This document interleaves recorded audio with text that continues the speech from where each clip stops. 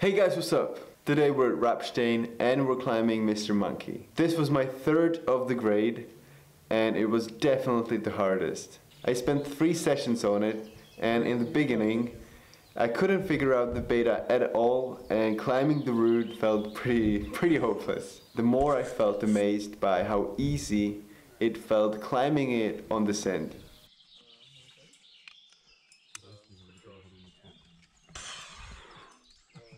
All I can say is that making hard stuff feel easy is pretty damn satisfying.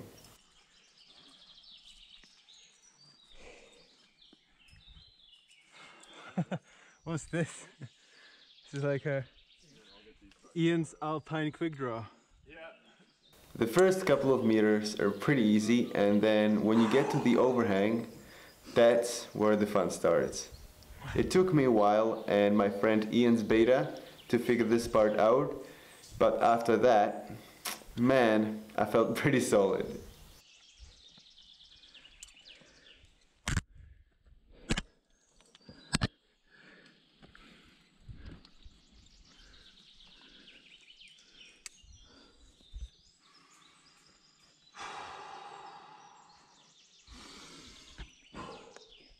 The key is matching a big hold from an undercut and then really digging into a little foothold with your right foot to make a big move.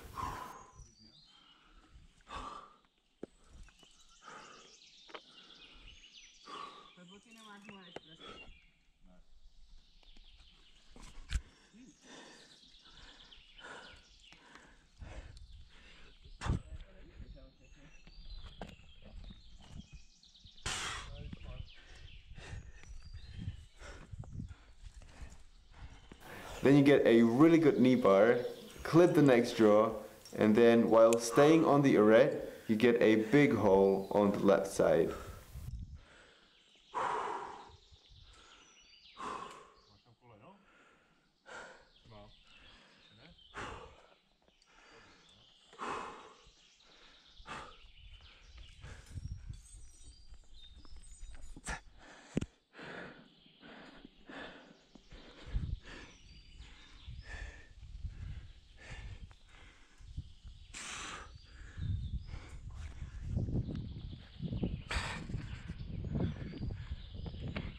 Then you get a good rail, which is a great place to find rest, breathe, and get ready for a couple of small holds which are featured in the upper crux.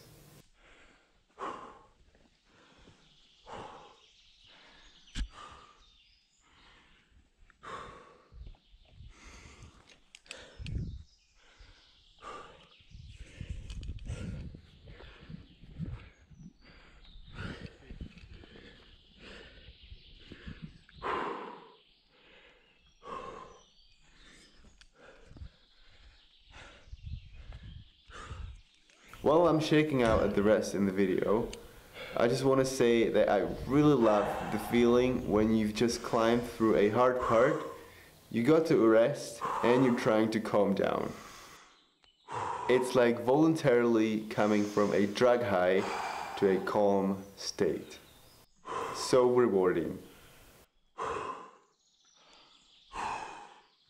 At this section, there's a lot of small holds a lot of options how to use them. So I'll let you figure this out on your own.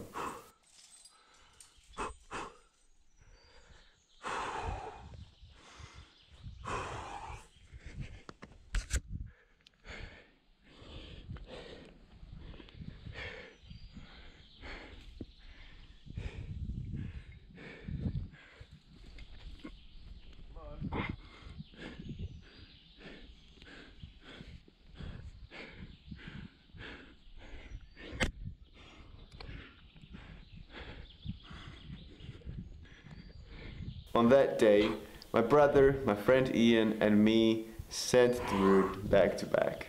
I always love hanging out with people that are stoked about climbing.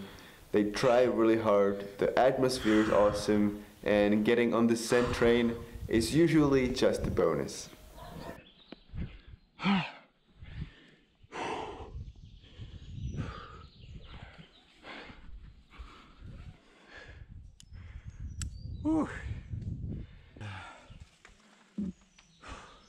Alright guys, this is it for today's video. Hope you enjoyed it. Thank you very much for watching. I really appreciate it. Get out there and I'll see you in the next one.